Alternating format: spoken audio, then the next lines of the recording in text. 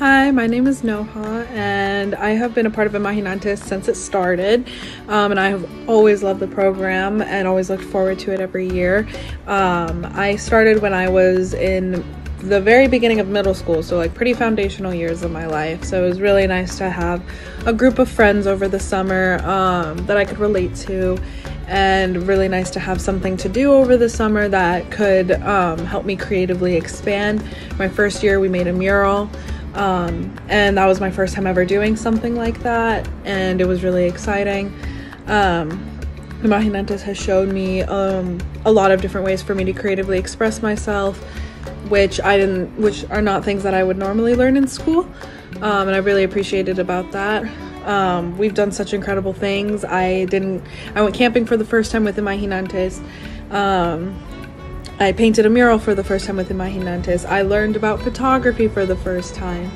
Um, every year has been something new. I learned how to cook with them. Um, and I think these are just skills that they never teach you in school. Um, and then if your parents are really busy working, really busy um, taking care of the family, other things that they don't really necessarily have time to teach you. So I really appreciated that Imaginantes was always there for me in that sense. Yeah, so yay, 10 year anniversary. Um, I hope that it goes on forever and ever, honestly. I think it is an incredible program. And yeah, thank you. Good afternoon, everyone. My name is Rafael Lopez. I am a children's book illustrator and a muralist.